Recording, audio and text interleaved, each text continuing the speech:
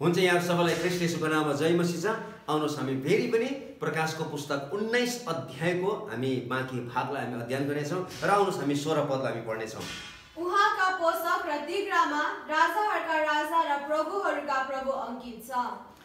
हुन्छ यसले यहाँ चाहिँ राजा र प्रभुताको गुणलाई विशेष प्रकारले यहाँनिर जनाएको छ। राजा अफ राजा है? यहाँ चाहिँ अफ किङ्स अफ लोर्ड्स भन्ने त्यहाँनिर शब्द प्रयोग गरेको छ। भनेको मतलब चाहिँ उहाँ चाहिँ सबै शक्तिहरूभन्दा सबै अधिकारहरूभन्दा सबै प्रभुत्वहरूभन्दा उहाँ चाहिँ माथि हुनुहुन्छ भन्ने कुरो चाहिँ यसले हामीलाई जनाउँछ। अर्थात् यसले उहाँको अधिकार र गुणको घोषणा गर्दछ। उहाँ सबै राजाहरू र प्रभुहरूका उहाँ चाहिँ विशेष सार हुनुहुन्छ। अथवा he is the epitome of the king and the lord र त्यसपछि उहाँको पोषक भन्नाले आधा पोषकमा र आधा चाहिँ उहाँको तिग्रामा लेखिएको छ भन्नुको खास अर्थ चाहिँ के छ भने त्यो चाहिँ माथिदेखि लिएर तलसम्म नै त्यहाँनिर चाहिँ त्यो नामको अङ्कित गरिएको छ भन्ने कुरोहरू चाहिँ हामी बुझ्न सक्छौँ। हामी फेरि पनि बाह्र पद पढौँ त बाह्र र तेह्र पद। उहाँका आँखा आगोका ज्वाला जस्ता थिए र उहाँका शिरमा धेरै राजमुकुट थिए। उहाँका एउटा नाउँ अङ्कित थियो जो उहाँलाई बाहेक अरू कसैलाई थाहा थिएन। उहाँले रगतमा चोब्लिएको पोषक पहिरिनु भएको थियो र उहाँको नाउँ परमेश्वरको वचन थियो। यहाँनिर चाहिँ उहाँ कस्तो देखिनु भएको छ भन्ने कुरो चाहिँ यहाँनिर स्पष्ट रूपले बताएको छ। र उहाँको आँखा आगोको ज्वाला जस्ता थिए भन्नु खोजेको चाहिँ यसले हामीले यही कुरो भन्न खोजिरहेको छ कि उहाँको न्यायमा कुनै पनि मानिस लुक्न सक्दैन कुनै पनि मानिस भाग्न सक्दैन हरेकलाई उहाँको त्यो आँखाले चाहिँ स्पर्श गर्न सक्नुहुन्छ भन्ने सत्य कुरो चाहिँ हामी यहाँबाट बुझ्न सक्छौँ अथवा उहाँको नजरबाट कोही पनि भाग्न सक्दैन अथवा लुक्न सक्दैन। र अहिले मानिसहरू चाहिँ विभिन्न किसिमका मुखण्डहरू लगाएर चाहिँ आफैलाई धर्मी ठहराएको छ र धर्मी ठहराउन सक्छ। तर त्यो दिन चाहिँ सबै मानिसको मास्कहरू चाहिँ खोलिनेछ। तिनीहरू कस्ता छन् र तिनीहरूको वास्तविकता चाहिँ त्यो दिन चाहिँ स्पष्ट रूपले देखिनेछ। हामी प्रकाशको पुस्तकमा यी कुराहरू पढ्न सक्छौँ। दुई अध्यायको तेइस पदमा पहिलो कोरिन्ती तिन अध्यायको बाह्रदेखि पन्ध्र पदसम्म र दोस्रो कोरिन्ती पाँच अध्यायको दस पदमा। यो शरीरमा हामीले जे जति हामीले गरेका छौँ ती सबै कुराहरू चाहिँ उहाँले स्पष्ट रूपले देख्न सक्नुहुन्छ भन्ने कुराहरू। उहाँ धेरै मुकुटहरूद्वारा चाहिँ पहिरिनु भएको छ जसले चाहिँ असीमित सर्वभौम सत्ताको सङ्केत दिएको छ। हेर्नुहोस् है त यस कारण उहाँमा चाहिँ थुप्रो मुकुटहरू छ। यसले के देखाउँछ भन्दाखेरि चाहिँ उहाँ चाहिँ सबै शक्तिहरूभन्दा उहाँ चाहिँ एकदमै उच्चमा हुनुहुन्छ माथि हुनुहुन्छ अथवा उहाँको चाहिँ असीमित सर्वभौम सत्ताको बारेमा चाहिँ यसले विशेष प्रकारले जनाएको छ। यहाँनिर जुन मुकुटको बारेमा बताएको छ यहाँ चाहिँ स्टिफनस भन्ने मुकुटको बारेमा बताएको छैन। यहाँ चाहिँ डायाडेम भन्ने यो विशेष मुकुटको बारेमा बताएको छ जो चाहिँ सबै शक्तिभन्दा उच्च र माथिका राजाले लगाउने त्यो मुकुटको बारेमा बताएको छ। तर स्टिफनस भनेको चाहिँ यो चाहिँ विश्वासीहरूको एउटा विजयको मुकुट हो। हामी प्रकाशको पुस्तक तिन अध्यायको एघार पद पढाउँदा म चाँडै चाँडै आइरहेछु। म चाँडै आइरहेको छु। तिमीसँग जे छ त्यसलाई पक्रिराख। तिमीसँग जे छ त्यसलाई पक्रिराख।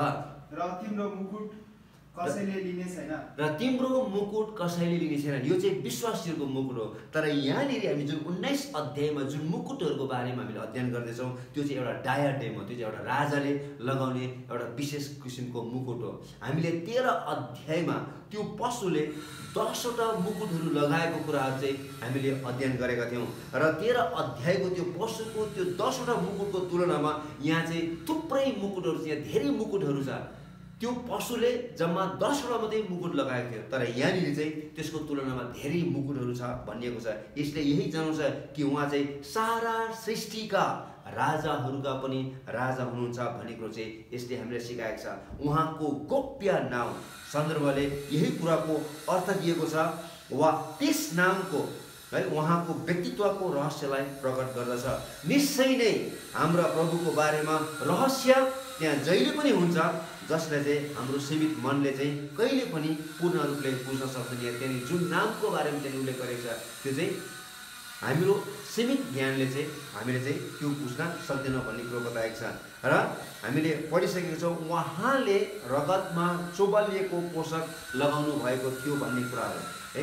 यसले चाहिँ के देखाउँछ भन्दाखेरि चाहिँ अब जुन अर्मगेदनको युद्ध हुन लागेको छ त्यो अर्मगेदनको युद्धमा है उहाँको कसरी विजय हुनेछ भन्ने कुरो चाहिँ यसले हामीलाई सङ्केत दिएको छ। हामी पढौँ त हामी विशेष यसया त्रिसठी अध्यायको एकदेखि लिएर हामी तिन पदसम्म हामी पढौँ त। हेदोमबाट बोस्राबाट गाढा रातो रङले रङ्गाएका वस्त्रसित आउनुहुने को हो। रवाफिलो वस्त्र र आफ्नो शक्तिको बडापनमा आउँदै गर्नुहुने को हो। धर्मिकतामा बोल्ने र बचाउनमा स्मा- सामर्थी म हुँ। किन तपाईँको पोसाक दाग कुण्डमा पेल्नेहरूको जस्तै रातो छ? मैले एक्लै दाग कुण्ड पेले। मैले एक्लै दागकुण्ड पेले। जातिहरूमध्ये कोही पनि मसित थिएन। मैले रिसमा तिनीहरूलाई पेले र मेरो क्रोधमा तिनीहरूलाई कुल्चे। तिनीहरूको जीवन रक्त मेरो पोसाकमा छ्यापियो र मेरो सबै वस्त्र रगतै रगत भयो। ल भइहाल्यो यहाँनिर एकदमै स्पष्ट रूपले बताएको छ अर्म गेदनको युद्धमा है?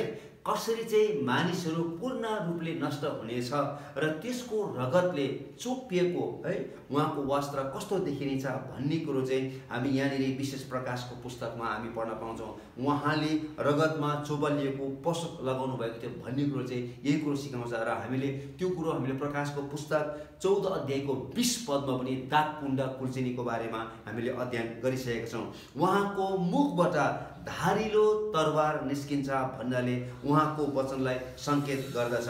यहाँ चाहिँ लामो तर एकदमै हलुका किसिमको तरवारको बारेमा उल्लेख गरिएको छ र जुन तरवार चाहिँ भालाको रूपमा पनि चाहिँ यसरी चाहिँ हान्न सकिन्छ। यसले न्यायको बारेमा बताएको छ र हाम्रो प्रभुको मुखबाट निस्केको त्यो धारिलो वचनले हेर्नुहोस् त हजारौँ हजार मानिसहरू चाहिँ पूर्ण रूपले ढल्नेछ। यो न्यायको आधार उहाँ आफैले पहिलो आगमनमा बोल्नुभएको वचनको आधारमा हुनेछ। जुन कुरो हामीले हिजो पनि हामीले यमुनाको सुसमाचार बाह्र अध्यायको अडचालिस पद पढेका थियौँ र आज हामी यसैया चार एघार अध्यायको चार पद हामी पढ्नेछौँ। तर खाँचोमा परेकाहरूको न्याय उहाँले धर्म धर्मिकतासित गर्नुहुन्छ। धार्मिकतासित चाहिँ खाँचोमा परेकाहरूको न्याय गर्नुहुनेछ अनि र पृथ्वीका गरिबहरूका लागि उहाँले न्यायसित फैसला गरिदिनुहुनेछ।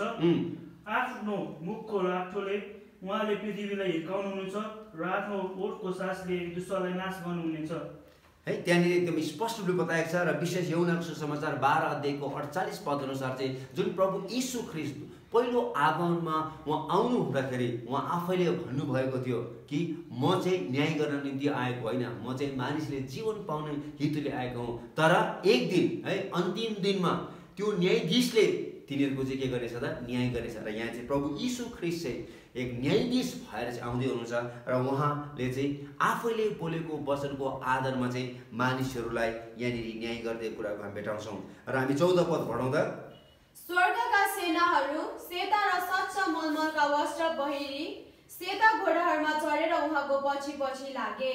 र उहाँका सेनाहरू भन्ने कुराहरू बताएको छ। र यहाँ चाहिँ हामी दुईवटा समूहमा हामी विचार गर्न सक्छौँ। र पहिलो चाहिँ स्वर्गदूतहरू जसलाई चाहिँ धर्मशास्त्रमा परम प्रभुको फौज भनिएको छ। हामी पढौँ त यहसु पाँच अध्यायको हामी चौध र पन्ध्र पद। अनि उनले भने होइन तर परमप्रभुको फौजको कप्तान भएर म आएको हुँ तब यहोसुले जमिनमा भोग्न परेर दण्डवत गरे र उनलाई भने मेरो प्रभु आफ्नो दासलाई के भन्नुहुन्छ?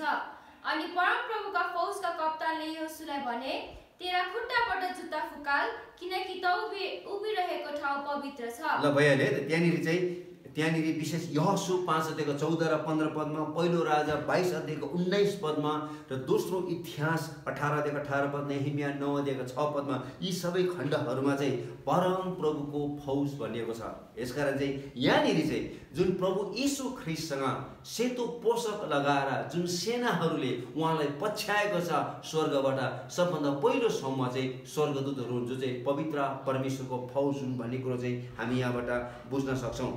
र अर्को दोस्रो समूह चाहिँ को हुनसक्छ भन्दाखेरि यहाँ चाहिँ दिएको विवरण अनुसार हामीले जुन चौध पदमा हामीले पढ्छौँ त्यहाँ चाहिँ दिएको विवरण अनुसार चाहिँ उहाँको सेना भन्नाले चाहिँ यो चाहिँ चर्च युगका सन्तहरू पनि समावेश गरिएको छ। तिनीहरूले सेता र स्वच्छ मलमलका वस्त्र पहिरिएको छ र आठ पद अनुसार चाहिँ यस्तो किसिमको पहिरन चाहिँ सन्तहरूको धार्मिक कार्यहरू हो भन्ने कुरो बताएको छ। हामी पढौँ त आठ पद। चहकिलो र स्वच्छ मलमलको वस्त्र पहिर पहिरिन तिनलाई दियो। त्यहाँनिर एकदमै स्पष्ट रूपले बताएको छ यसकारण चाहिँ जुन समूहले प्रभु यीशु ख्रिस्टलाई पछ्याएको छ पहिलो समूह चाहिँ त्यहाँनिर स्वर्गदूतहरू हो र दोस्रो समूह जसले यीशु ख्रिस्टलाई पछ्याएको छ त्यो दोस्रो आगमनमा तिनीहरू चाहिँ मण्डलीका सन्तहरू हुन् भन्ने कुरो चाहिँ हामी यहाँबाट स्पष्टले बुझ्न सक्छौँ। किन जुन किसिमको वस्त्र तिनीहरूले पहिरेको छ आठ पद अनुसार चाहिँ त्यो चाहिँ त्यो पद अनुसार चाहिँ यो चाहिँ सन्तहरूको चाहिँ धार्मिक कार्यहरू भन्ने कुरा चाहिँ उल्लेख गरेको कुरा बताएको छ। हामी पन्ध्र र सोह्र पद पढाउँदा जाति जातिहरूलाई प्रहार गर्न। उहाँको मुखबाट धारिलो तरवार निस्कन्छ। र उहाँले फलामको डन्डाले तिनीहरूमाथि शासन गर्नुहुनेछ। सर्वशक्तिमान परमेश्वरको क्रोधको डाकुण्डा उहाँले कुल्चिनुहुन्छ र यहाँ चाहिँ उहाँको अधिकारको बारेमा उल्लेख गरेको कुरा हामी भेटाउँछौँ। यो दुईटा पदहरूमा उहाँको अधिकार धेरै कुराहरूमा हामी देख्छौँ।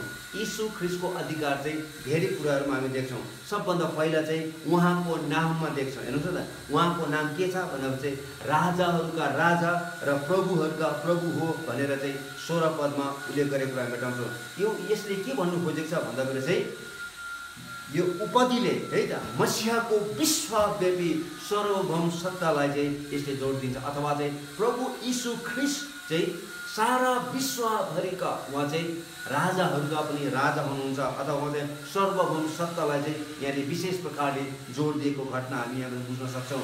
र उहाँ जसको शासन गर्नको लागि उहाँ चाहिँ पृथ्वीमा आउँदै हुनुहुन्छ प्रभु यीशु ख्रिस्ट राजाहरूका राजा भएर प्रभुहरूका प्रभु भएर चाहिँ यस पृथ्वीमा चाहिँ शासन गर्नको निम्ति आउँदै हुनुहुन्छ भन्ने कुरो चाहिँ यसले हामीलाई बताएको छ। र फलामको दण्डले शासन गर्नेछ। ले भन्न खोजेको चाहिँ के भन्दाखेरि चाहिँ उहाँले चाहिँ कठोर प्रकारले शासन गर्नुहुन्छ भन्ने कुरो बताएको छ। अथवा कठोर शासन भन्दा पनि विनाशलाई चाहिँ अझै सम्बोधन गर्दछ। उहाँ चाहिँ कठोर भन्दा पनि अझै विनाशलाई चाहिँ यसले चाहिँ यो कुरोहरू बताएको छ। र यो बदलाको एउटा डन्डा हो। र यो अति नै बलियो हुन्छ र यसको न्यायको काम पुरा गर्छ। यसले चाहिँ न्यायको पुरा काम गर्छ। यसको उहाँ चाहिँ दण्डले चाहिँ उहाँले के गर्नुहुन्छ त? न्याय गर्नुहुन्छ भन्दाखेरि चाहिँ उहाँको न्याय चाहिँ एकदमै कडा हुन्छ एकदम विनाशकारी हुन्छ भन्ने कुरो बताएको छ। यसका त्यो दण्ड चाहिँ एकदमै के छ त? बलियो छ भन्ने कुरो चाहिँ यसले बताएको छ त्यो दण्डले चाहिँ उहाँको न्यायलाई पुरा गर्नेछ भन्ने कुरो चाहिँ यसले यहाँबाट हामीले सिक्न सक्छौँ। अर्को कुरो चाहिँ यो दाग कुण्डाको बारेमा हामीले चौध अध्यायको बिस पदमा पनि पढिसकेका छौँ र यहाँ अझै पनि हामी छोटकरीमा हामी हेर्न चाहन्छौँ र दाग कुण्डामा है कुल्चिने भन्नेको खास अर्थ चाहिँ के भन्दाखेरि चाहिँ परमेश्वरको क्रोधलाई यसले विशेष प्रकारले चाहिँ सम्बोधन गरेको छ। जसले अनुग्रहलाई तिरस्कार गरेको छ तिनीहरूको लागि ईश्वरीय न्याय चाहिँ अति नै तीव्र हुनेछ भन्नु खोजेको। प्रभु यीशु ख्रिस्टले पवित्र परमेश्वरको महिमाको निम्ति सारा जातिहरूलाई मुक्ति पाउन उहाँले जुन किसिमको अनुग्रह लिएर आउनुभयो र त्यो अनुग्रह मानिसहरूले तिरस्कार गरेको कारणले गर्दाखेरि इन्कार गरेको कारणले गर्दाखेरि त्यसलाई लत्याएको कारणले गर्दाखेरि अब तिनीहरूमाथि चाहिँ पवित्र परमेश्वरको क्रोध चाहिँ एकदमै तीव्र गतिमा आउनेछ भन्ने कुरो चाहिँ यसले बताएको छ। उहाँले सबैलाई कुल्ची मिल्ची पार्नेछ र जबसम्म तिनीहरू पूर्ण रूपले पतन हुँदैन तबसम्म तिनीहरूलाई उहाँले प्रशस्त मात्रामा कुल्ची मिल्ची पार्नुहुनेछ र पशुको सबै सेनाहरू मारिनेछन् र अरूहरू चाहिँ न्यायमा आउनेछन्। त्यहाँ जति पनि मानिसहरू पूर्वबाट पश्चिमबाट उत्तरबाट दक्षिणबाट जति पनि मानिसहरू चाहिँ त्यो अर्मागदनको युद्धमा त्यो पेलिस्टाइन क्षेत्रमा मेगितोको डाँडाहरूमा मानिसहरू भेला हुनेछन् जिउँदो प्रभु यीशु ख्रिस्टको विरुद्धमा लड्नका निम्ति ती सबैजनालाई चाहिँ उहाँले कुल्ची मिल्ची पार्नुहुनेछ।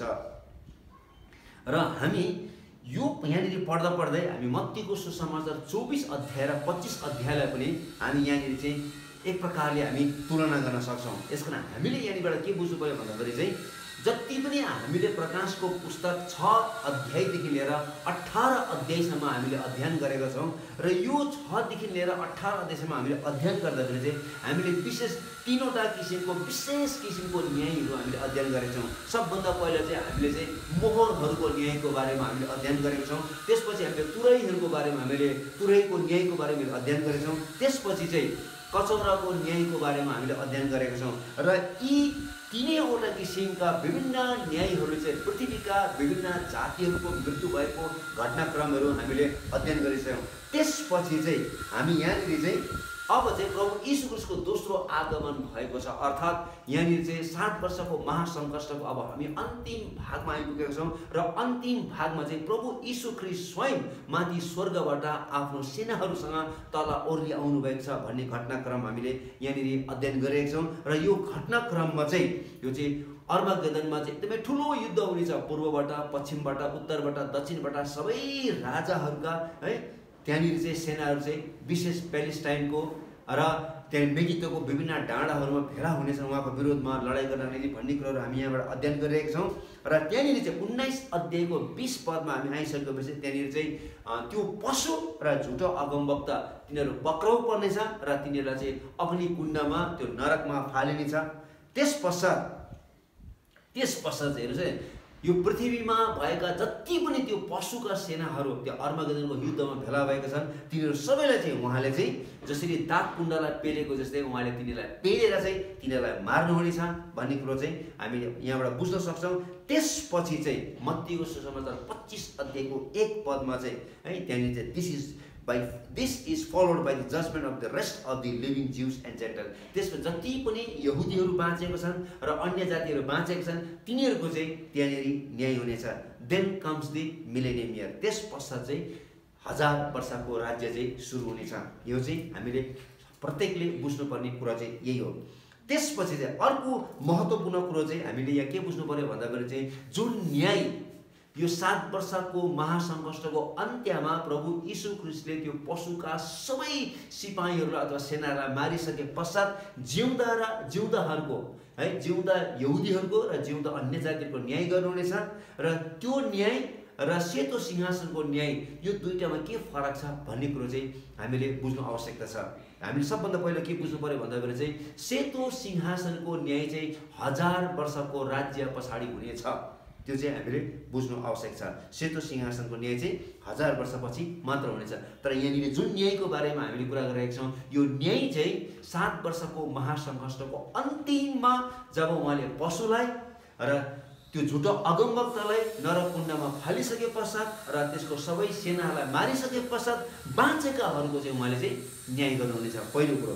दोस्रो कुरो हामीले के बुझ्नु पऱ्यो भन्दाखेरि चाहिँ यसको उद्देश्य र लक्ष्य चाहिँ फरक छ। यहाँनिर जुन प्रभु यीशु ख्रिस्टले सात वर्षको महासङ्कष्टको अन्तिममा जुन किसिमको न्यायले उहाँले न्याय गर्दै हुनुहुन्छ र त्यसको हजार वर्ष पछाडि जुन सेतो सिंहासनको न्याय हुनेछ यसको चाहिँ उद्देश्य र लक्ष्य नै फरक छ। सेतो सिंहासनको न्यायको अन्तिम नाश र दण्डलाई जनाउँछ। भनेको अर्थ चाहिँ सेतो सिंहासन चाहिँ त्यो चाहिँ अन्तिम न्याय हो। त्यस पश्चात चाहिँ सबै मानिसहरू चाहिँ तिनीहरू चाहिँ नरकुण्डमा फालिनेछ। अर्थात् जहाँ मानिसहरूलाई तिनीहरूको अनन्त गन्तव्यमा पुर्याउनेछ त्यो चाहिँ सेतो सिंहासनले चाहिँ मानिसहरूलाई चाहिँ त्यहाँ पुर्याउनेछ त्यहाँ पुस्तकहरू खोलिनेछ भन्ने कुरो बताएको छ जसद्वारा चाहिँ तिनीहरूको न्याय हुनेछ त्यहाँनिर विभिन्न किसिमको पुस्तकहरू खोलिनेछ। तपाईँले सेतो सिंहासनको शीर्षकमा तपाईँले यसको बारेमा अध्ययन गर्न सक्नुहुनेछ। त्यहाँनिर विभिन्न पुस्तकहरू खोलिनेछ भन्ने कुरो बताएको छ। र त्यो पुस्तकको आधारमा चाहिँ मानिसको न्याय गरिनेछ र त्यसपछि तिनीहरूलाई नरकुण्डमा फालिन्छ भन्ने कुरा तर प्रभुको यो दोस्रो आगमन है ख्रिसको यो ठुलो क्रोधको दिन भन्ने कुरो बताएको छ। र जसद्वारा चाहिँ सबै विद्रोह हटाइनेछ यो पृथ्वी भएको सबै किसिमको विद्रोहहरूलाई उहाँले हटाउनुहुनेछ र त्यसलाई पूर्ण रूपले शुद्धिकरण गर्नुहुनेछ। है? त्यसपछि चाहिँ उहाँले चाहिँ त्यो हजार वर्षको राज्यको लागि चाहिँ उहाँले पूर्ण रूपले चाहिँ त्यो त्यहाँनिर राज्य गर्न निम्ति चाहिँ उहाँले तयार गर्नुहुनेछ। यसकारण चाहिँ यो दुईवटा कुरोलाई चाहिँ हामीले एकदमै थाहा पाउनुपर्छ। यहाँनिर जुन किसिमको हजार यहाँनिर चाहिँ सात वर्षको महासङ्कष्टको अन्त्यमा भएको न्याय यो चाहिँ एकदम फरक न्याय हो र त्यसको हजार वर्ष पछाडि हुने न्याय सेतो सिंहासको न्याय चाहिँ यो चाहिँ फरक फरक न्यायहरू हो भनेर चाहिँ हामीले बुझ्नु आवश्यक छ। र वर्तमान आकाश र पृथ्वी बितिसकेपछि मात्र सेतो सिंहासनको न्याय हुनेछ। तर दोस्रो आगमनको घटनामा चाहिँ यही पृथ्वीमा हुनेछ र विशेष यो चाहिँ प्यालेस्टाइनमा हुनेछ।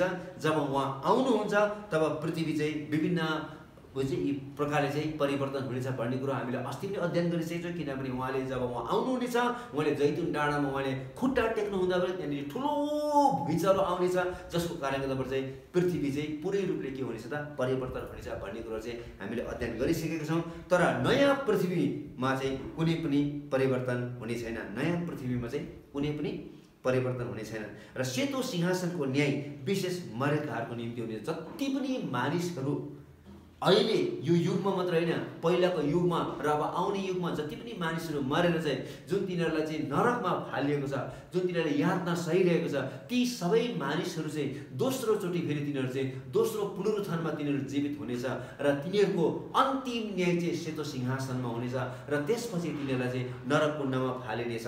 र यो कुरो चाहिँ हामीले बुझ्नुपर्छ। यसकारण चाहिँ त्यो त्यो विशेष न्यायमा चाहिँ प्रकाशको पुस्तक बिस अध्यायको बाह्र पद अनुसार चाहिँ सबैले आफ्नो आफ्नो है आत्माहरू तिनीहरूले दिनेछ तर दोस्रो आगमनले चाहिँ जीवितहरूको न्याय हुनेछ।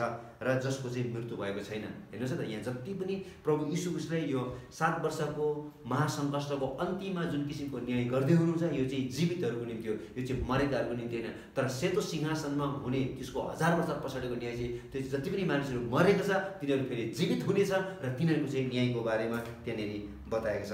हामी पढौँ त हामी सत्र पद पढौँ त। तब मैले एउटा स्वर्गदूत. सूर्यमा उभिरहेका देखे।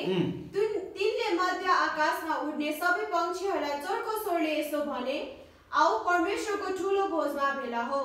यो खण्डमा हामीलाई अर्मागदनको युद्धमा चाहिँ ल्याउँदछ। हामी विशेष हामी सत्र पददेखि लिएर एक्काइस पदसम्म हामीले पढ्यौँ भनेदेखि चाहिँ यहाँनिर चाहिँ अर्मागदनको युद्धको बारेमा यहाँनिर हामी पढ्न सक्छौँ जसको बारेमा हामीले प्रकाशको पुस्तक सोह्र अध्यायको बाह्रदेखि लिएर सोह्र पदसम्म हामीले त्यसको बारेमा हामीले पढिसकेका छौँ। र त्यहाँ हामीले देख्यौँ कि युद्धमा जानको लागि पृथ्वीका राजाहरूलाई प्रेरणा दिन दुष्ट आत्माहरू प्रयोग गरिएको थियो। जुन कुरो चाहिँ सोह्र अध्यायको बाह्र पददेखि हामी पढ्न सक्छौँ। र यस्तो पनि देखिन्छ कि ख्रिस विरोधीको शान्ति सम्झौता कमजोर हुनेछ र यस बेला यो चाहिँ टुट्ने अवस्था पुग्नेछ र बाइबलका खण्डहरूले यस विचारको समर्थनको प्रमाण दिँदछन् कि ख्रिसको दोस्रो आगमन हुनुभन्दा पहिले संसारमा हेर्नुहोस् है संसारका साम्राज्यमा चाहिँ ठुलो युद्ध भइरहनेछ। है हामीले अस्ति पनि हामीले पढेका थियौँ कि जसरी पूर्वका सेनाहरू चाहिँ पश्चिमका सेनाहरूसँग युद्ध गर्नको निम्ति यिनीहरू त्यहाँनिर चाहिँ गइरहेको कुराहरू हामीले अध्ययन गरिसकेका छौँ र त्यहाँनिर युद्ध हुने क्रममा चाहिँ संसारका सबै मानिसहरू एक ठाउँदेखि लिएर है विभिन्न ठाउँबाट चाहिँ एक ठाउँमा भेला भइरहेको कुराहरू हामीले अध्ययन गरेका छौँ र यद्यपि हेर्नुहोस् न यहाँनिर चाहिँ स्वर्गका सेनाहरूले प्रधान सेनापतिको रूपमा हाम्रा प्रभु यीशु ख्रिस्टको प्रकट गर्दा पृथ्वीका राज्यका सबै सेनाहरू है सेनाहरूले आफ्नो भिन्नतालाई भोलि उहाँको विरोधमा युद्ध गर्नको लागि एकसाथ खडा हुनेछ। मानिसहरू जुन उद्देश्यको निम्ति चाहिँ एक अर्कासँग युद्ध गर्नको निम्ति पूर्वबाट पश्चिमबाट उत्तरबाट दक्षिणबाट त्यहाँनिर फेला भएको हुन्छ त्यति बेला प्रभु यीशु ख्रिस्टको दोस्रो आगमन हुँदाखेरि चाहिँ सबै मानिसहरूले आफ्नो आफ्नो भिन्नतालाई बिर्सेर चाहिँ तिनीहरूले चाहिँ प्रभु यीशु ख्रिस्टको विरुद्धमा चाहिँ तिनीहरू लड्नको निम्ति एक ठाउँमा भेला हुनेछन्।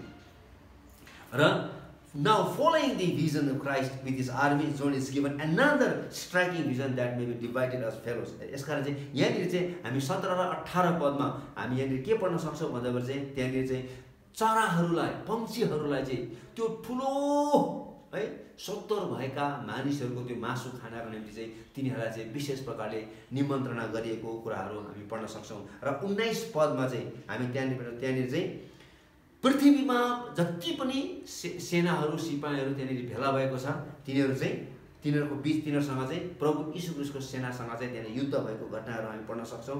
त्यसपछि बिस पदमा चाहिँ त्यो पशु र त्यो झुटो अगमभक्तलाई तिनीहरूलाई चाहिँ विशेष प्रकारले अग्निकुण्डमा फालिएको छ र एक्काइस पदमा चाहिँ ती बाँकी रहेकाहरूलाई उहाँको मुखबाट निस्केका तरवारले तिनीहरू मारिन्छन् भन्ने कुरो बताएको छ। हामी पढाउँदा सत्र र अठार पद। तब मैले एउटा स्वर्गदूत सूर्यमा उभिरहेका देखे. तिनले मध्य आकाशमा उड्ने सबै पक्षीहरूलाई चर्को स्वरले यसो भने औ परमेश्वरको ठुलो भोजमा भेला हो तिनीहरूले राजाहरू कप्तानहरू शक्तिशाली मानिसहरू र घोडाहरू र ती माथि सवार हुनेहरू फुक्का र कमरा कमे कमारीहरू ठुला र साना सबैको मासु खानेछौ तब मैले एउटा स्वर्गदूत सूर्यमा उभिरहेको देखेँ भन्ने कुरा बताएको छ हेर्नुहोस् न सूर्यमा उभिएको हो कि? कि त सूर्यको किरणमा उभिएको हो भनी यहाँनिर निश्चित गरेको छ थाहा छ। यहाँनिर स्पष्ट रूपले बताएको छैन। तर यहाँ चाहिँ सूर्यको किरण आउने बाटोमा उभिएको हुनुपर्छ।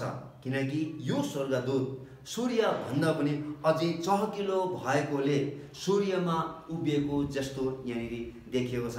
र यो सबै दृश्यले परमेश्वरको महिमा पवित्रता धार्मिकता र न्यायलाई विशेष प्रकारले झल झल्काएको छ। अथवा पवित्र परमेश्वरको त्यो महिमाको त्यो चमकको कारणले गर्दाखेरि चाहिँ यहाँ चाहिँ जुन स्वर्गदूत त्यो उपस्थितिबाट आउँदाखेरि चाहिँ यहाँ चाहिँ यहुनाले चाहिँ त्यो स्वर्गदूतलाई चाहिँ सूर्यमा उभिएको जस्तो यहाँनिर उसले देखेको छ। तर वास्तवमा त्यो चाहिँ पवित्र परमेश्वरको महिमाको त्यो एउटा प्रकाश हो भन्ने कुरो चाहिँ हामीले बुझ्नु आवश्यक छ। यहाँ स्वर्गदूतले चोरको स्वरले कराएको छ। हेर्नुहोस् है त। जहिले पनि हामी विशेष हामीले छ अध्यायको दस पदमा सात अध्यायको दुई पदमा दस पदमा दस अध्यायको तिन पदमा चौध अध्यायको पन्ध्र पदमा र अठार अध्यायको दुई पदमा जहाँ जहाँ चर्को स्वरले कराएको छ त्यहाँ चाहिँ कुनै न कुनै अब विशेष घटना घट्न लागेको छ है भन्ने कुरो चाहिँ हामीले बुझ्नु आवश्यक छ। र यहाँनिर पनि एउटा विशेष किसिमले यहाँ चर्को स्वरले कराएको छ। जो यसको अर्थ चाहिँ के छ भन्दा चाहिँ अब चाहिँ एकदमै महत्त्वपूर्ण घटना घट्न लागेको छ है भन्ने कुरो चाहिँ हामी यहाँबाट बुझ्न सक्छौँ। जुन कुरो चाहिँ हामीले विगतका हामीले विशेष अध्यायहरूमा पनि तिनै कुराहरू हामीले पढिसकेका छौँ। र यहाँनिर बताएको छ मध्य आकाशमा उड्ने सबै पक्षीहरूलाई है? यहाँनिर चाहिँ विशेष प्रकारले आउनको निम्ति आज्ञा गरेको छ यहाँ मानिसहरूलाई बोलाएको छैन तर सबै किसिमका पक्षीहरूलाई जो चाहिँ मध्य आकाशमा उड्छ माथि उड्ने चराहरूलाई मात्रै यहाँनिर चाहिँ निम्तो दिएको छ। र मध्य आकाशमा उड्ने ती पक्षीहरू है हुन् जसले चाहिँ मासु खान्छन्। हेर्नुहोस् न माथि आकाश मध्य आकाशमा उड्ने चराहरूले चाहिँ के गर्छ त? मान्छेको मासु अथवा त्यसले सिरुहरू खाने गर्छ भन्नुभएको जस्तै गिद्ध हो है अर्को गिद्ध हो। र अर्को चाहिँ के हो? चिलो।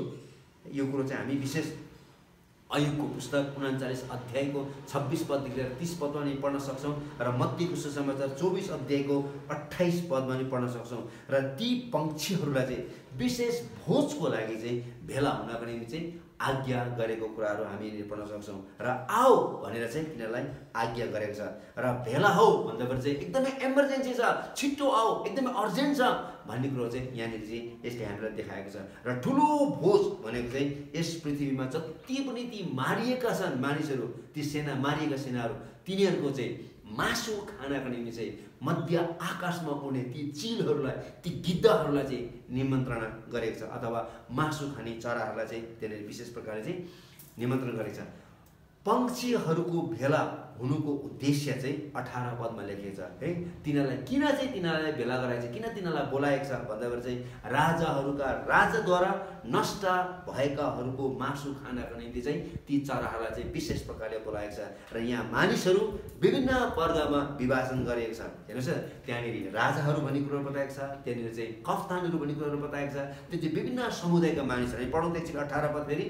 तिमीहरूले राजाहरू ल हेर्नुहोस् राजाहरू कप्तानहरू कप्तानहरू यहाँ कप्तानहरू भनेको चाहिँ यहाँ हजारौँ हजारका कप्तानहरू अनि शक्तिशाली मानिसहरू शक्तिशाली मानिसहरू र घोडाहरू र ती माथि सवार हुनेहरू घोडा माथि सवार हुनेहरू अनि फुक्का र कमारा कमारीहरू ल हेर्नुहोस् फुक्का र है कमारा कमारीहरू ठुला र साना सबैको मासु खानेछौ। सानो र ठुला सबै यहाँनिर चाहिँ के गरेको छ त भन्दाखेरि चाहिँ यिनीहरूले चाहिँ विभिन्न वर्गहरूमा चाहिँ यिनीहरूले चाहिँ विभाजन गरेको छ।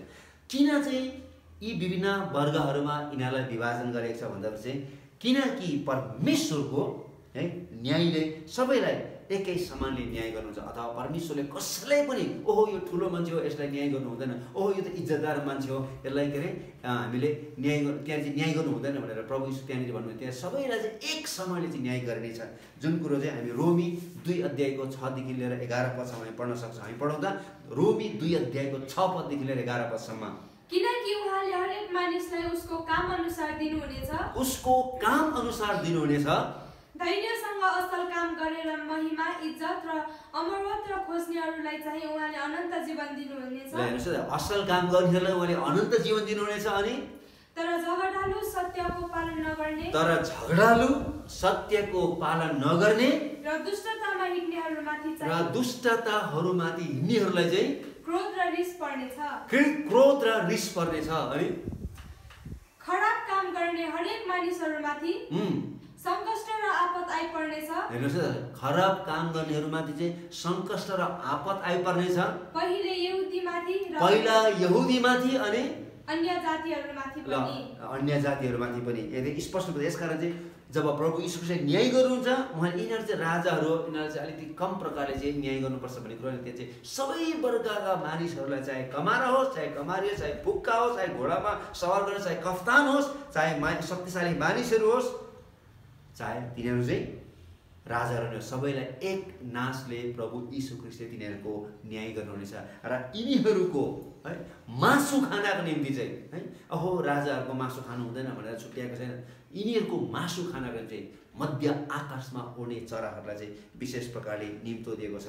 र हामी सत्र पदमा हामीले हेऱ्यौँ चाहिँ यी सत्र पदमा है यी दुई खण्डहरूसँग मेल खान्छ। विशेष यो चाहिँ यो उन्नाइस अध्यायको जुन सत्र पद छ यो चाहिँ विशेष इजिकेल उन्नाइस उनाचालिस अध्यायको सत्रदेखि लिएर बिस पदसम्म र मत्तीको सुसमाचार चौबिस अध्यायको अठाइस पदसम्म यो चाहिँ मेल खान्छ। हेर्नुहोस् त। यहाँ कस किन मेल खान्छ भन्दाखेरि चाहिँ त्यहाँनिर चाहिँ विशेष गिद्ध भन्ने शब्द अथवा चरा गिद्ध भन्ने चरा चाहिँ त्यहाँनिर पनि प्रयोग गरेको कारणले गर्दाखेरि चाहिँ यहाँनिर चाहिँ मेल खान सक्छ। तर हामीले के बुझ्नुपर्छ भन्दाखेरि चाहिँ इजिकेल उनाचालिस अध्यायमा भएको जुन युद्ध छ यो युद्धको बारेमा हामीले अध्ययन गरिसकेका छौँ। र यो युद्ध चाहिँ विशेष हजार वर्षभन्दा अगाडि नै यो युद्ध हुनेछ। धेरै मानिसहरूले चाहिँ यो इजिकेल उनाचालिस अध्यायलाई चाहिँ हजार वर्ष पछाडि हुने एउटा युद्धको बारेमा तिनीहरूले बताउने गर्छ। चाहिँ एउटा नाम भएको कारणले गर्दाखेरि। तर हामीले यसको बारेमा अध्ययन गरिसकेका छौँ। यो चाहिँ अर्मागदनको युद्धभन्दा पनि अगाडि हुनेछ। हामीले पहिले नै पढिसकेका छौँ जब एन्टी क्राइस्टले आफ्नो दसवटा राज्यहरू मिलाएर चाहिँ जसरी उसले आफ्नो साम्राज्यको स्थापना गर्नेछ र त्यसपछि चाहिँ जसरी त्यसले चाहिँ इजरायलसँग त्यसले चाहिँ करार बाँध्नेछ र करार बाँधिसके पश्चात चाहिँ जब इजरायलीले मन्दिर निर्माण गरेर ढुक्कासँगले चारैतिरबाट सुरक्षित भएर बसिरहेको बेलामा चाहिँ त्यति बेला चाहिँ उत्तरको राजाले तिनीहरूलाई आक्रमण गरेछ भन्ने कुरा हामीले अध्ययन गरिसकेका छौँ र त्यो चाहिँ पहिलो साढे तिन वर्ष सात वर्षको महासङ्घर्षको पहिलो साढे तिन वर्षको एउटा घटनाक्रम हो र त्यति बेला चाहिँ तिनीहरूको जति पनि सेनाहरू उत्तरबाट आएको हुन्छ ती सेनाहरूलाई चाहिँ पलेस्टाइनको ती पर्वतहरूमा पवित्र परमेश्वर आफैले नै तिनीहरूलाई नष्ट गर्नुहुन्छ भन्ने कुरा हामीले पढिसकेका छौँ र जसको लास गाड्नका निम्ति त्यहाँनिर चाहिँ सात महिनासम्म लाग्नेछ भन्ने कुरा बताएको छ। सात महिनासम्म त्यो तर यहाँनिर चाहिँ हामीले जुन बारेमा अध्ययन गर्नेछौँ यहाँनिर चाहिँ लास गाड्ने मान्छेहरू कोही पनि हुने छैन। हेर्नुहोस् त यहाँ चाहिँ सबै मानिसहरू सत्तर हुनेछ तर तिनीहरूलाई चाहिँ चराहरू बोलाइएको छ तिनीहरूको लासहरू खानको निम्ति। यसकारण चाहिँ त्यो इजिकेल उनाचालिस अध्यायमा भएको युद्ध र यो युद्धमा चाहिँ एकदमै फरक छ भन्ने कुरो चाहिँ हामीले बुझ्नुपर्छ र हामीले यो पनि बुझ्नुपर्छ यी दिनहरूमा विभिन्न किसिमको शिक्षाहरू आइरहेको छ। र यो शिक्षाले गर्दाखेरि चाहिँ हामी एकदमै कन्फ्युज भइरहेको छौँ। कति बेला के हुन्छ भन्ने कुराहरू। यसकारण चाहिँ हामी एकदमै प्रार्थनासहित पवित्र परमेश्वरको वचनलाई अध्ययन गर्नुपर्छ र जे कुरो सत्य छ ती कुरालाई मात्रै हामीले के गर्नुपर्छ हामीले पक्राउनुपर्छ जे पाए त्यही शिक्षालाई लिएर चाहिँ हामी अगाडि बढ्नु हुँदैन। यसकारण हामीले यहाँनिर चाहिँ इजिकेल उनाचालिस अध्यायमा भएको जुन युद्ध छ त्यो चाहिँ सकिसकेको छ। र यहाँनिर जुन हामीले युद्धको बारेमा नि अध्ययन गर्दैछौँ यो युद्ध चाहिँ एकदमै फरक किसिमको युद्ध हो। हामी पढौँ त मत्तीको सुसमाचार चौबिस अध्यायको अठाइस पदमा त्यहाँनिर चाहिँ गिद्ध भन्ने शब्द प्रयोग गरेको कारणले गर्दा चाहिँ मानिसले चाहिँ यहाँसँग पनि तुलना गर्ने गर्छ। पढौँ त। जहाँ सिन्धु हुन्छ त्यहाँ गिद्धहरू पनि जम्मा हुन्छन्। र यो शब्दको कारणले गर्दाखेरि चाहिँ के हुन्छ भने कतिजनाले के विचार गरेको छ भन्दाखेरि चाहिँ यो चाहिँ इजिकेल उन्चालिस अध्यायको त्यो विशेष किसिमको त्यो युद्धलाई चाहिँ यो युद्धसँग जोडेको छ। तर यो अर्मगिदनको युद्ध र इजिकेल उन्चालिस अध्यायमा भएको युद्ध चाहिँ यो छुट्टा छुट्टै युद्धहरू हो। यसमा हामी चाहिँ कन्फ्युज हुनु हुँदैन हामी उन्नाइस पद पढौँ। अनि घोडामा सवार हुने र। उहाँका सेनाहरूका विरुद्धमा युद्ध गर्न त्यो पशु र त्यो पशु र पृथ्वीका राजाहरू र तिनका सेनाहरू भेला भएका मैले देखेँ। ल हेर्नुहोस् यहाँ चाहिँ ख्रिस्ट र विरोधीको बिचको र ठुलो भिडन्तलाई यहाँनिर विशेष प्रकारले वर्णन गरिएको छ। यो चाहिँ एकदम विशेष किसिमको अर्मागदनको युद्ध। सबै मानिसहरू संसारभरिका सेनाहरू चाहिँ त्यहाँनिर लाखौँ करोडौँको सङ्ख्यामा त्यहाँनिर चाहिँ मानिसहरू त्यहाँनिर भेला भएको छ। र यहाँ उल्लेख गरिएका घटनाहरू चिन्हआत्मक युद्ध होइनन् जहाँ विरोधलाई बिस्तारै जितिन्छ। तर यो चाहिँ परमेश्वरको सेनाहरू र शैतानको सेनाहरूको युद्धमा युद्धमा भएको एउटा एकदमै वास्तविक चरमसीमा एकदमै ठुलो युद्ध हुनेछ। यो चाहिँ एकदमै वास्तविक युद्ध हुनेछ है? र अहिलेसम्म तेस्रो विश्वयुद्ध भएको छैन। यस कारण धेरै मानिसहरूको सोचाइ चाहिँ के छ भन्दाखेरि यो चाहिँ ठुलो तेस्रो विश्वयुद्ध हुन्छ।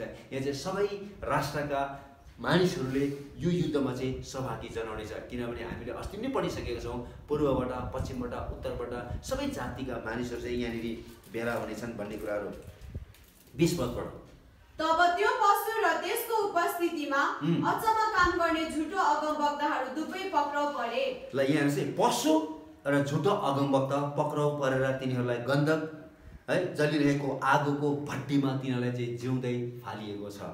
जसरी प्रभु यीशु ख्रिस्ट मरेकाहरूबाट जीवित हुने उहाँ पहिलो फल हुनुहुन्छ र मरेकाहरूबाट जीवित हुने मध्येमा पहिलो फल र उहाँ जसरी स्वर्गरोहण हुनुभएको छ त्यस्तै प्रकारले त्यो नरक कुण्डमा पनि त्यो गन्धक र आगोको भट्टीमा पनि सबभन्दा पहिलो व्यक्ति चाहिँ ख्रिस विरोधी अथवा त्यो पशु त्यहाँनिर जानेछ र त्यो सँगसँगै झुटो अगमवक्ता पनि त्यहाँनिर फालिनेछ। पशुको हो भन्दाखेरि चाहिँ मण्डलीको विरोधमा भएको संसारको शक्तिको एउटा है व्यक्तित्व कारण हो र झुटो अगमवक्ताले चाहिँ झुटो धर्म प्रतिनिधित्व गर्छ र क्रिस्चियन विरोधी शक्तिलाई चाहिँ आराधना गर्नको लागि चाहिँ मानिसहरूलाई चाहिँ उत्प्रेरणा दिन्छ।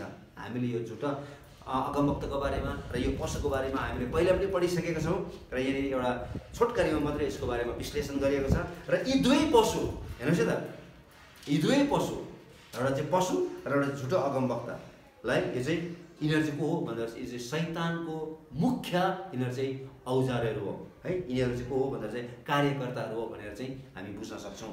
र तिनीहरू अनन्त दण्डको ठाउँमा आफ्नो मालिकभन्दा पनि तिनीहरू चाहिँ पहिला नै तिनीहरूलाई चाहिँ फालिनेछ। अग्नि कुण्डमा सबभन्दा पहिला पुग्ने यी दुई पशुहरू हुन् तर पछि चाहिँ सेतो सिंहासनको न्यायपछि चाहिँ यिनीहरूको पूजा गर्नेहरू पनि तिनीहरू सँगसँगै त्यो ठाउँमा पुग्नेछन्। युद्धपछि हेर्नुहोस् है युद्धपछि चाहिँ यहाँ अर्को एउटा न्याय भएको हामी देख्छौँ।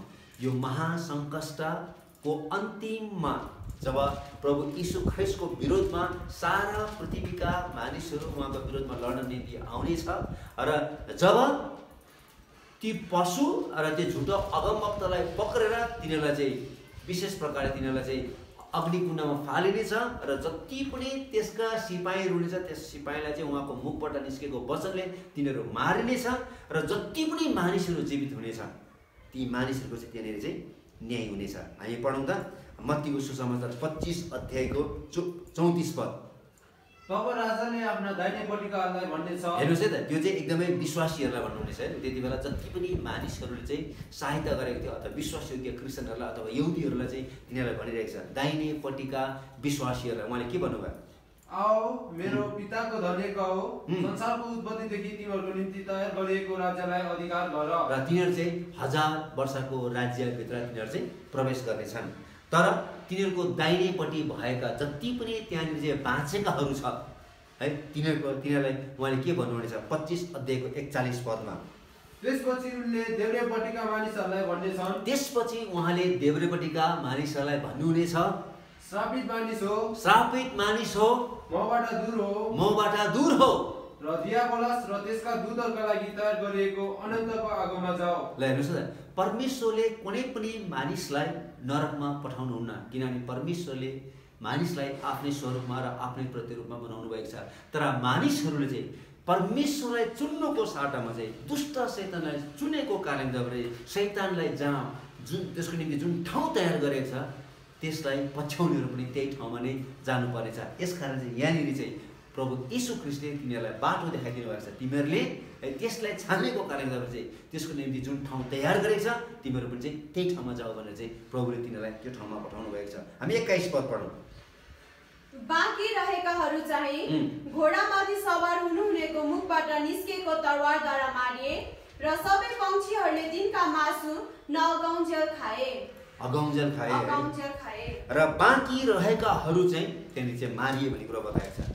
है घोडा सेतो घोडामा सवार हुनेको मुखबाट निस्केको त्यो तरवारले तिनीहरू चाहिँ मारिए भन्ने कुरो बताएको छ। अर्थात् सबै पशुको सेनाहरू मारिएको छ। जति पनि मानिसहरू चाहिँ त्यो प्यालेस्टाइनमा अर्मगेदनको युद्धमा भेला भएको छ ती सबैजना मारिएको छ। र यो सेनामा है हेर्नुहोस् है सहभागीहरू मात्र है सहभागी नहुनेहरू मात्रै बाँच्नेछ।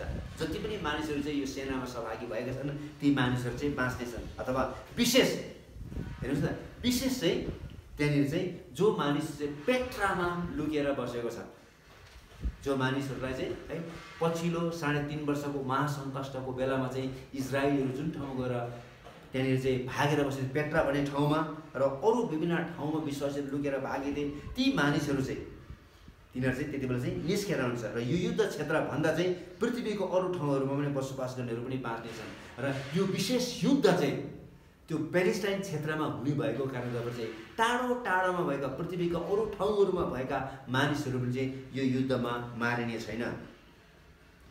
यसकारण the word of God makes plain that God so love the world that he gave he son that all who avail themselves of the grace of God are immeasurably blessed in the time and eternity हेर्नुहोस् त परमेश्वरले संसारलाई यस्तो प्रेम गर्नुभयो उहाँले आफ्ना एकमात्र पुत्र प्रभु यीशु क्रिस्ट दिनुभएको छ। उहाँमाथि विश्वास गर्ने कोही पनि नाश हुने छैन तर हरेकले ख्रिस्ट यीशुमा अनन्त जीवन पाउनेछ। तर जसले उहाँको पुत्र प्रभु यीशु ख्रिस्टलाई इन्कार गर्नेछ तिनीहरूले चाहिँ यो दण्ड निश्चय पनि तिनीहरूले पाउनेछ। यसकारण हामी राम्रोसँगले विचार गरौँ है। यो समय हुँदा नै हामी चाहिँ परमेश्वरपट्टि फर्कौँ। परमेश्वरले अझै पनि सहनशीलताको साथमा धीरजको साथमा आफूले सृष्टि गर्नुभएका मानिसहरूलाई उहाँपट्टि फर्किन हुन्छ कि भनेर चाहिँ परमेश्वर पर्खिरहनु भएको छ। पवित्र आत्माले दिन रात मानिसहरूको जीवनमा काम गरिराख्नु भएको छ ताकि मानिसहरू उहाँको राज्यमा आउन सकोस् भनेर। तर यो संसार यति साह्रो दूषित भएको छ पापले यति साह्रो भरिएको छ तिनीहरूले जति धेरै चेतावनीहरू पाउँदा पनि तिनीहरू अझैसम्म पनि फर्किन सकेको छैन। तर पनि परमेश्वरले तिनीहरूलाई पर्खिराख्नु भएको छ। तर तिनीहरू नपर्केको खण्डमा चाहिँ अहिले हामी जति पनि हामीले प्रकाशको पुस्तक छ अध्यायदेखि लिएर हामीले उन्नाइस अध्यायसम्म हामीले जति पनि अध्ययनहरू गरेका छौँ र त्यहाँनिर जति पनि हामीले दुःख कष्टहरूको बारेमा हामीले अध्ययन गरेका छौँ विभिन्न किसिमको न्यायहरूको बारेमा हामीले अध्ययन गरेका छौँ प्रभु यीशुले स्वयंले तिनीहरूलाई कसरी नाश गर्नुहुन्छ भन्ने कुरो हामीले अध्ययन गरेका छौँ। त्यति मात्र नभएर तिनीहरू पछि फेरि सेतो सिंहासनमा गएर पनि तिनीहरूले फेरि जुन किसिमको त्यहाँनिर चाहिँ न्याय पाउनेछ त्यो न्याय पश्चात तिनीहरू चाहिँ आगो र गन्धकमा तिनीहरू फालिनेछ। यी सबै घटनाहरू यीशु ख्रिस्टप्रति नफर्किने मानिसहरूले चाहिँ अनुभव गर्नुपर्ने हुन्छ। यसकारण चाहिँ हामी समय हुँदा चाहिँ हामी फर्किनुपर्छ। किनभने स्वर्ग मुनि मानिसहरूको बिचमा मुक्ति पाउन निम्ति यीशु ख्रिस्ट बाहेक अरू कुनै पनि नाम छैन र यीशुमा मात्रै जीवन छ र अझै पनि फर्किने मौका छ। हामी जुन समाजमा बसिरहेका छौँ त्यो समाजमा मानिसहरूको बिचमा एउटा ज्योति पुर्याउने एउटा नुनको रूपमा र एउटा विशेष ज्योतिको रूपमा सेवा पुर्याउनको निम्ति परमेश्वरले हामीलाई विभिन्न ठाउँमा राख्नुभएको छ र हाम्रो उत्तरदायित्व चाहिँ मानिसहरूलाई चाहिँ जिउँदो पवित्र परमेश्वरले ख्रिस्ट यसोमा उपलब्ध गराउनु भएको त्यो मुक्ति त्यो जीवनको बारेमा घोषणा गर्नु हुन्छ परमेश्वरले तपाईँ सबैलाई आशिष देखाउँ जय मसी